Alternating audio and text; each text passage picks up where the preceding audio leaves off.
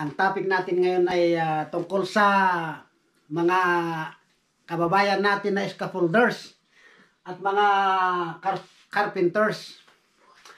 Ang agency na tutukuyin ko ngayon ay Alpha Tomo International Manpower Services. Ang agency na ito ay naghahanap ng mga scaffolders at mga carpenters. Ang inaha ang hinahanap nilang carpenters ay yung mga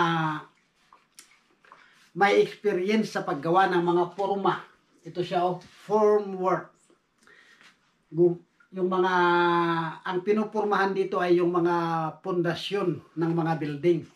So kailangan may experience kayo doon dahil ah, ang interview ay nakabase sa form work, yung mga forma. At ang ginagamit dito ay yung ang ginagamit dito ay ah, kung hindi duka, malamang ay piri. Kasi ang duka at piri, sila yung laging magka ano, laging magkaribal na ginagamit ng mga malalaking construction. At ang ah, scaffolders. Alam naman natin yung mga scaffolders, ang klase ng mga scaffolders. What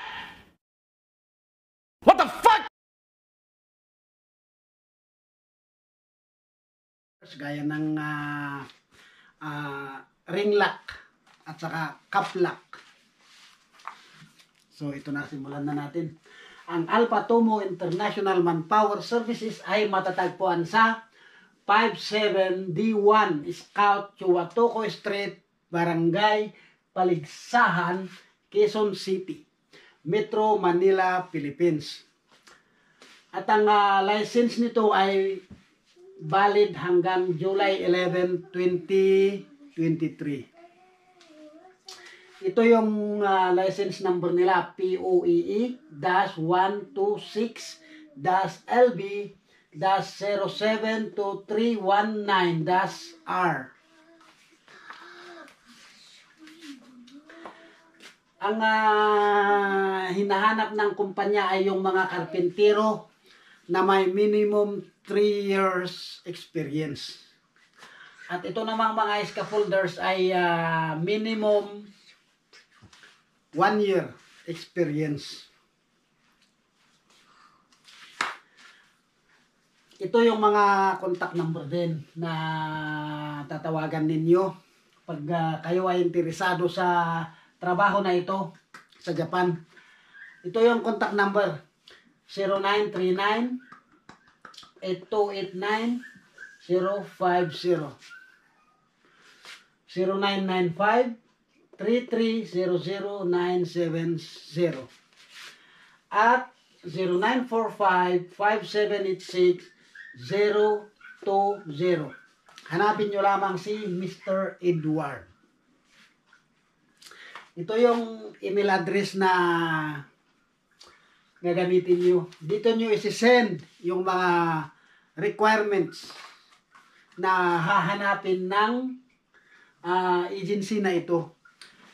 Ito yung email address nila oh. alpatomo.application at gmail.com Para malaman nyo yung mga kumpletong detalye about ah, sa pag-a-apply at about sa agency na ito, tawagan nyo lang itong mga isinulat kong number na ito.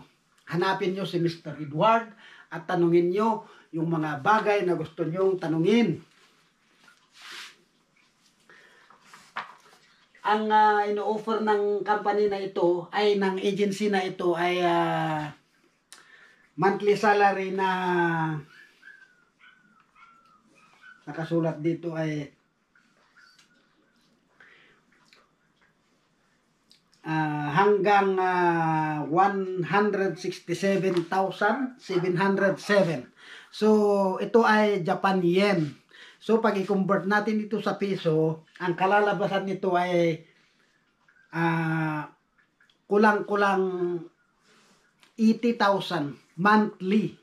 So, pag may overtime, lalagpas yan ng 100,000 monthly pesos. Philippine piso. ang mga requirements natin ay ang mga requirements natin ay syempre ah, passport, valid passport, NBI, at least yung valid yung validation ng NBI hindi bababa ng 6 months. At saka certificates gaya ng training at saka employment. Kung may mga training kayo sa mga nakaraang mga company kung saan kayo nagtrabaho, isama nyo rin para pampaganda ng resume natin.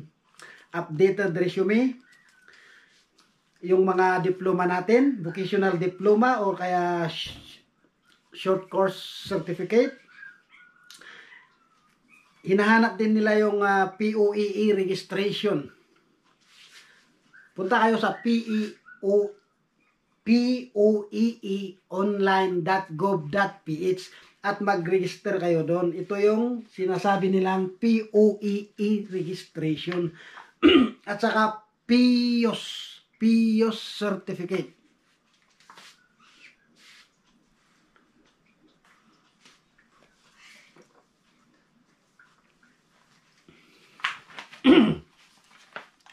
Qualifications. Ang qualifications natin ay lalaki 25 years old in above. Dito sa formwork carpenters, ang hinahanap ng agency ay minimum minimum 3 years experience. At dito naman sa scaffolders ay isang taon lang. Minimum 1 year experience.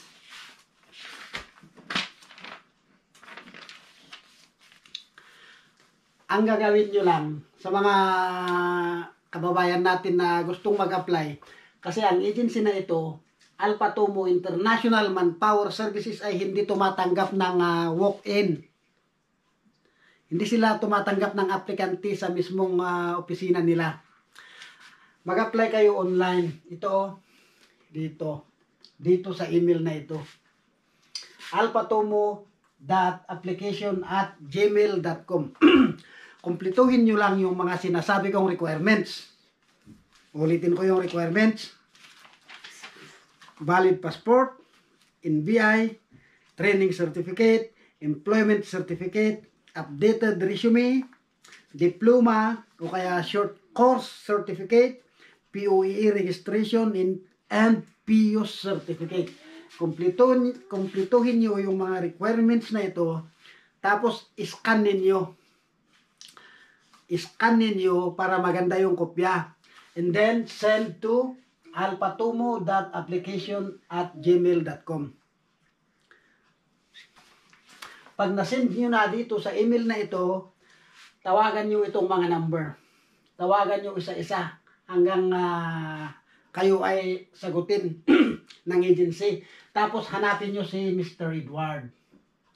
I-inform nyo si Mr. Edward, i-inform nyo siya na kayo ay nag-send ng application na ah, documents para malaman niya, para ma-update siya. Kasi urgent hiring ito eh. Hanggang January 19 lang sila. Malaki pa naman ang sahod o 80,000. More than 80,000 pesos. Japan hiring to Japan. Para sa Japan.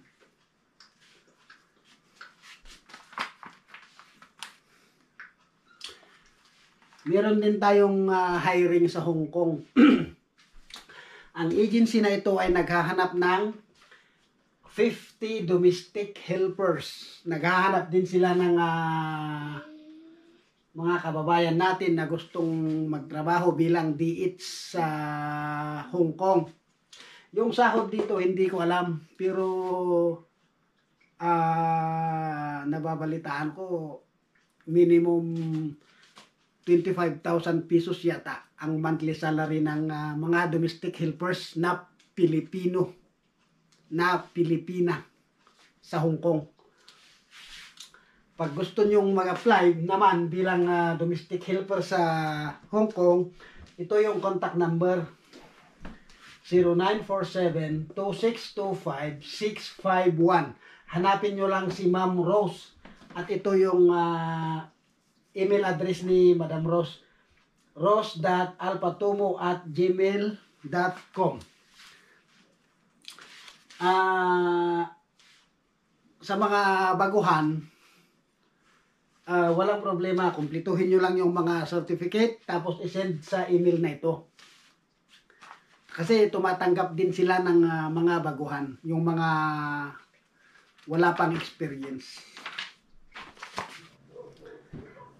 Kumpletuhin nyo lang itong mga requirements gaya ng ah, passport, of course yung valid passport, NBI, kung may mga training certificates kay- kayo, idagdag, idagdag nyo. Yung mga may experience, idagdag nyo din yung mga employment certificates ninyo. Yung mga diploma nyo, gaya ng high school. Kung nag-graduate ka ng college, may diploma rin. At kung hindi man nag-graduate ng ah, college, yung mga short course certificate ninyo, tinatanggap din nila yan. At saka itong ah, PUEE registration. Itong PUEE registration ay ah, mag-online kayo. I-type nyo doon ang ah, online services .poee.gov.ph At saka hinahanap din nila yung PIOS certificate. At sa PIOS certificate naman, i-type nyo doon sa sa browser ninyo pios.poee.gov.ph Doon mag-fill up din kayo doon. Pagkatapos nyong ma-fill upan lahat at ah, walang problema, lalabas yung ah, certificate doon, i-print nyo lang. Pag nakumpleto ninyo itong mga requirements, i-email nyo dito sa email na ito. rose.alpatomo at gmail.com Kung gusto ninyong kung gusto ninyong makontento na lahat ng mga requirements ay kumplitong kumplito kayo, tawagan nyo lang itong number na ito. Para kayo mismo ang magtanong kung ano yung mga kailangang requirements at kung ano yung mga qualifications para maiwasan natin yung tinatawag nating sayang.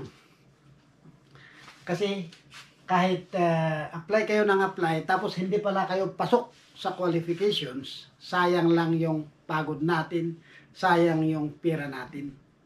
Kaya siguraduhin natin na yung mga requirements at qualification ay pasok tayo. Gaya rin dito, inuulit ko, sa mga scaffolders at sa mga carpenters na papunta ng Japan, kumplituhin nyo din yung mga requirements.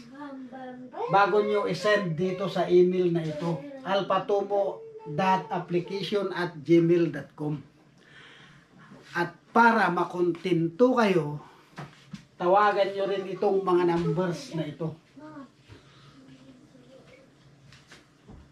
ito hanapin nyo si Mr. Edward tanungin nyo yung mga requirements at mga kung ano yung mga qualifications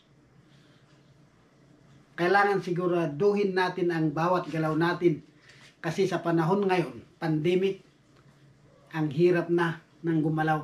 Ang hirap na ng ah, gumalaw kasi wala tayong hanap buhay. Pare-pareho tayong walang hanap buhay.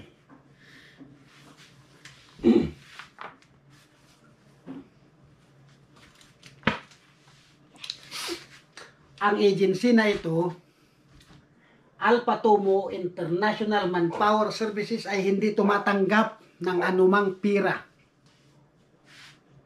No placement fee. No salary deduction. Kaya paulit-ulit kong sinasabi, no fees to be collected on application process. Siguro maniningil sila ng application process pag kayo ay sigurado ng lilipad. Kasi karamihan, ganun yung mga agency eh. At ah, paulit-ulit ko rin ah, sinasabi, "Be- beware of illegal recruiters and human traffickers. Kaya nga ito, lagi kong sinasabi at isinusulat sa screen ang ah, POEE license ng bawat agency na sinasabi ko. Para kayo rin mismo, i-search ninyo o kaya hanapin nyo sa POEE ang lisensya ng mga agency para mapatunayan nyo na sila ay valid pa at hindi sila nanluloko. Ito siya oh, E POEE-126-LV-072319-R.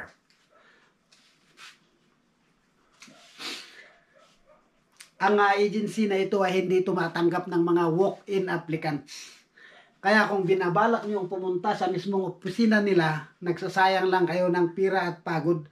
Kasi hindi talaga sila tumatanggap ng walk-in applicants. Dahil nga sa COVID-19 na yan.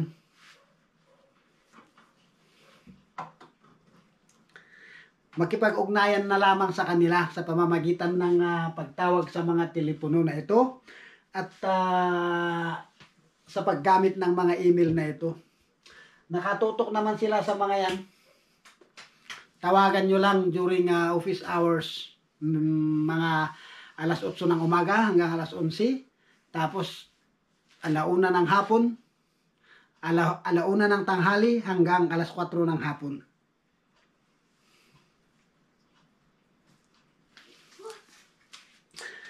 Yun lamang po at ah, ulitin ko, mag-ingat sa illegal recruiters at sa mga human traffickers. Pag ang isang agency ay ah, nagmumukha ng pira, iwanan nyo na, wag nyo nang ah, wag nyo nang ituloy yung pag-apply. Kasi illegal na yun eh. Illegal na yun.